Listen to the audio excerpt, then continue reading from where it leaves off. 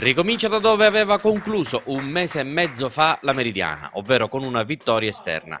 Ad Aci Bonaccorsi sorride alla prima in panchina il neotecnico Matteo Platania, una delle novità dei catanesi formato Restyling 22 più che revisionata, via Papa è dentro l'attaccante ex Invictus Lorenzo Privitera che parte dalla panchina, ma anche un gradito ritorno da infortunio come quello di Timothy Garcia e una meridiana un po' d'emergenza, quella che si presenta da Cibonaccorsi in casa della PG Pro Calcio. Difesa inedita, causa assenza per infortuni di Capitana Navarra su tutti, a Spinnicchia dunque il delicato compito di sostituirlo al centro del comparto arretrato mentre Matteo Genovese è promosso titolare. Assente anche Giuffride lì dietro e quindi gioco forza e difesa a tre. In mediana, pesante assenza di Spadaro, in avanti altra proposizione inedita con Garcia, Arcifa e Lizio. Partenza con prove generali di acuti sotto porta grazie a una giocata del trio offensivo. Lizio per Garcia, palla in mezzo per Arcifa che la sblocca col tapin in corsa ma l'azione è fermata dall'arbitro Barbagallo di Acirale per presunto offside al secondo minuto. Le reti effettive adesso Lizio, formato Maxi, si beve l'intera difesa della Pro, entra in area di rigore si conquista un penalty al settimo minuto. Enzo Lizio realizza il calcio di rigore dagli 11 metri, dunque 1 a 0. Si ripete, poco dopo l'incontenibile 91 nerazzurro, pausa salutare. Per lui pressing alto, efficace, involata verso la porta con dribbling largo, destro secco sotto la traversa e al minuto 9 è 0 a 2. Lo presti per Arcifa, corridoio in mezzo all'area per il tocco a correzione di Federico Cristaldi che sigla lo 0 a 3 quando cade il minuto 11. Non saranno i soli gol di giornata per chi è andato a segno sinora, Intanto rivediamo la manovra che chiude anzitempo i conti a nemmeno un quarto d'ora dall'inizio. Ne fa uno anche Simone Lopresti al 30 esatto, assistenza stavolta di Lizio e piatto che vale lo 0 a 4, quinto centro personale per Lopresti in stagione.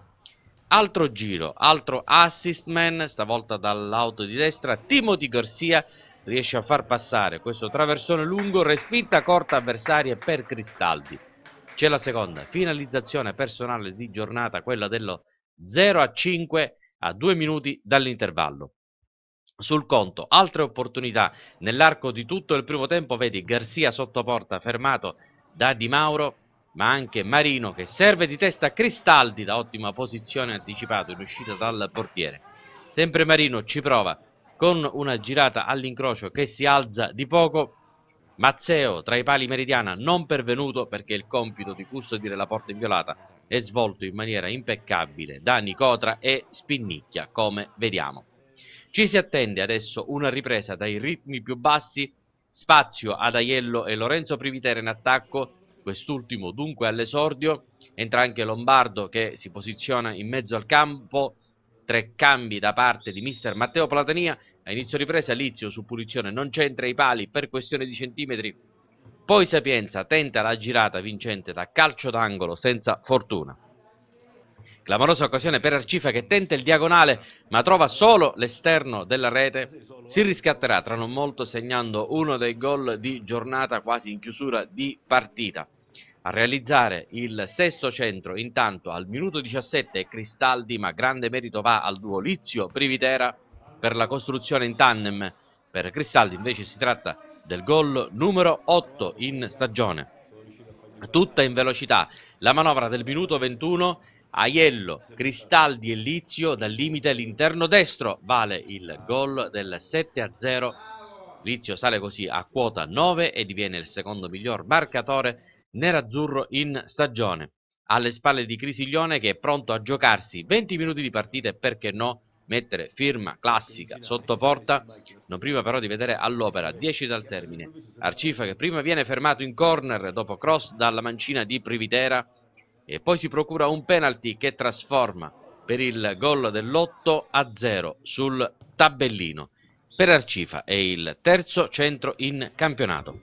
Dicevamo di Salvo Crisiglione, mancava solo lui all'appello ed eccolo qui, Cristaldi per Privitera Respinge Di Mauro proprio sui piedi del 99 catanese che va a siglare il diciottesimo gol in quest'annata, la cui seconda parte è solamente in fase di avvio. La Meridiana passa da Cibona Corsi a Vele spiegate.